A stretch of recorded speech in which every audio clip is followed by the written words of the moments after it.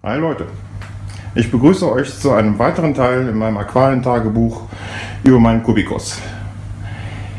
Ja, es hat sich wieder mal ein kleines bisschen was getan, positiv wie negativ. Positiv, meine Clowns haben wieder eine neue Anemone gekriegt, die sich, ähm, ja okay, sie ist jetzt nicht strahlend rot, ähm, aber sie äh, scheint sich zu halten. Also an, die anderen Anemonen, die ich hatte, haben sich jetzt in der Zeit, also die ist jetzt knapp anderthalb Wochen drin, ähm, schon teilweise zurückgebildet. Die bildet sich jetzt im, wird eigentlich von Tag zu Tag immer größer, so wie es sein soll. Ähm, ja, freut mich natürlich. Natürlich schade, dass sie nicht ganz so rot ist wie die anderen, aber okay, es geht sich erstmal darum, dass die Tiere eine, dass die Clowns hier eine Anemone haben, da sie ja in nichts anderes reingegangen sind. Das war wirklich ein Trauerspiel. Das sah ja nicht so toll aus. Ja, das nicht ganz so tolle. Ich betreibe hier mal wieder eine sehr erfolgreiche ähm, Glasrosenzucht. Wenn man hier mal so schaut. Ja. Unter anderem habe ich auch grüne, grüne und rote Cyanos im Moment wieder drin. Ähm, da bin ich jetzt am Gegensteuern und zwar hole ich mir jetzt das dritte Salz in mein, ich sag's mal, Portfolio Folio rein. Momentan habe ich, arbeite ich mit zwei verschiedenen Salzen im Wechsel. Einmal von Fauna Marin und äh, einmal von Colombo. Jetzt wird nächste Woche wird das dritte Salz mit dazu kommen, das ist dann von Red Sea. Dass ich dann in regelmäßigen Abständen immer verschiedene Salze reinpacke, um, äh, ich sage jetzt mal, den, das Defizit, was man mit einem nur äh, wenn man nur ein Salz braucht, äh, versuchen auszugleichen, weil das Becken braucht viele verschiedene Sachen. Daher dann auch die, die Aktion, verschiedene Salze zu nehmen. Ja, was sich auch noch verändert hat, ähm, wie man hier hinten sieht, Strömungspumpen sitzen jetzt da hinten und zwar beide übereinander und blasen ins Riff rein.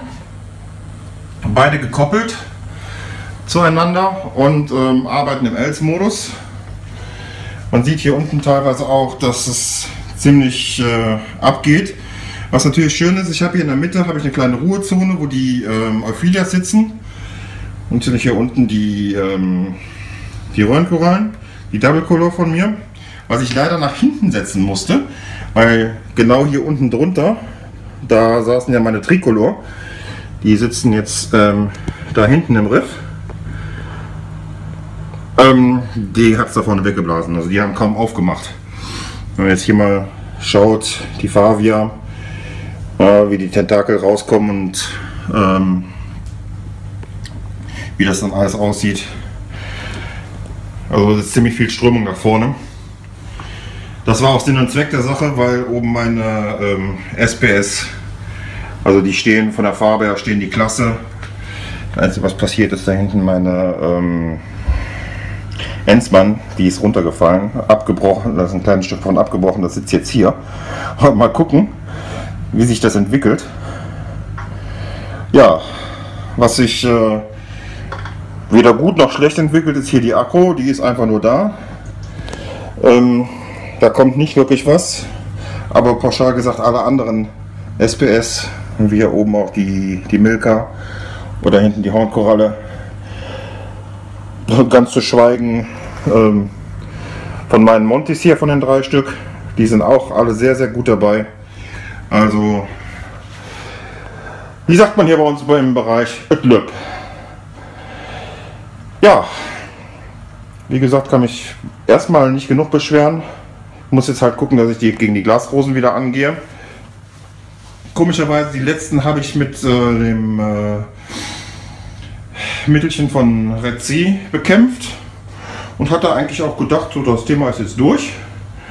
Ja, und auf einmal habe ich im ganzen Becken äh, wieder jede Menge Glasrosen an zig verschiedenen Stellen. Also ich werde mir dann wohl wieder einen Fressfeind da reinholen müssen, eine ähm, Wundermoney und ähm, die im Auge behalten müssen, weil die letzte Wundermoney ist dann ja an meine äh, Ackerns rangegangen.